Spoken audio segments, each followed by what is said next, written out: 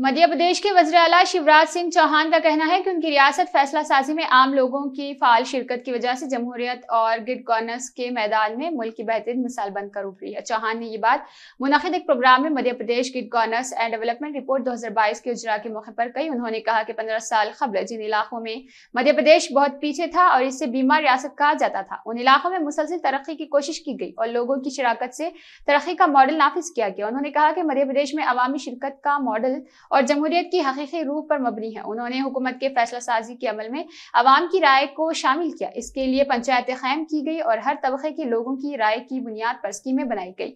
उन्होंने कहा कि अगर फैसला साजी के अमल में आवाम की शिरकत ना हो तो हकीकी जमहूरियत कैसे हो सकती है? उन्होंने कहा कि इसके नतीजे में मध्य प्रदेश पहली तरक्की पजीर रियासत बन गई और अब ये तरक्की याफ्ता रियासतों के सक में खड़ी है। पिछले दो वर्षों में इस मॉडल की इफादियत कोविड वबा पर काबू पाने में भी साबित हुई। उन्होंने कहा कि मध्य प्रदेश मुसलसिल अवामी शराकत के साथ मुख्तलिफ़ इलाकों में तरक्की की रफ्तार को तेज करने का काम करेगा।